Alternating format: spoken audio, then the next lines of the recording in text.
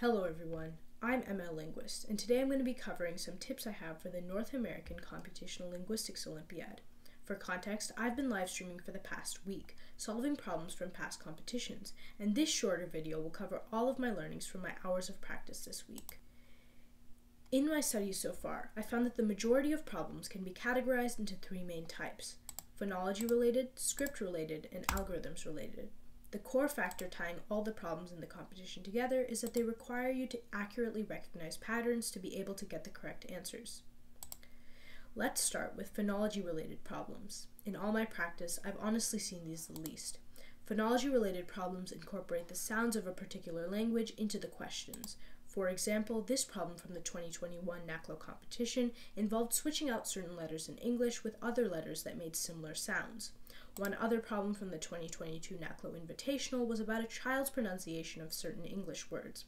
In fact, all three of these highlighted columns use an alphabet called the International Phonetic Alphabet, or IPA, which I can go over more in a future video. Regarding my tips for phonology related problems, I found that my prior knowledge can help at times. I have a vague familiarity with the IPA, so I was able to decode sounds in that 2022 invitational problem considerably faster.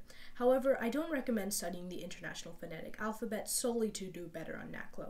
There just aren't enough instances of knowledge of the IPA helping a lot in solving a problem to justify doing so.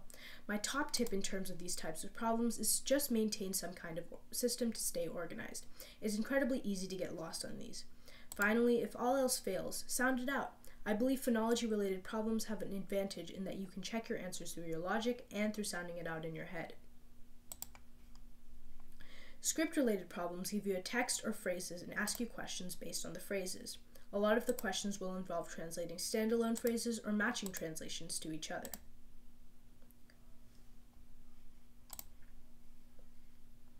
These problems are the ones I've encountered most in my studies, so I feel pretty confident with them. Keeping track of verb conjugation, subject verb object order, and making dictionaries of translations are just some of the things I do to stay organized. I have a full video detailing my approach on my channel, linked in the card. The final problem type I'm covering today is algorithm related problems. In these problems, you're typically given one or more algorithms and are asked to answer multiple questions based on these algorithms.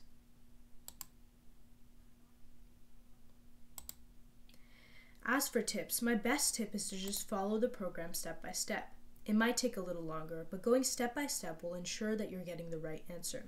Don't be afraid to write things down and make mistakes. In fact, if you do make assumptions, be sure to mark somewhere that they are assumptions and circle back to them later. My second point is that algorithm related problems are much easier to study for. If you already know how an algorithm works, you'll spend much less time trying to figure it out from the problem description and gain those points faster. Finally, be patient. In order to simulate a computer's algorithms, you'll have to do a lot of repetitive things, but if you follow through with it, the problems can be fairly easy to solve. One more bonus general tip I have is to prioritize problems according to your strengths. If you're good and fast at algorithmic problems and or have good knowledge of the content covered, prioritize solving those first so you know you have some points to start with. Another example of problem prioritization would be if you knew one of the languages on the test, or you had practiced a bunch of similar problems and know exactly how to approach the problem. Solve problems you know how to solve first, and then move on to the more experimental ones. At the end of the day, my number one tip for the NACLO competition is to practice a lot. The more familiar you are with the problems, the more accurate and fast you are. Thank you for watching, and please consider subscribing.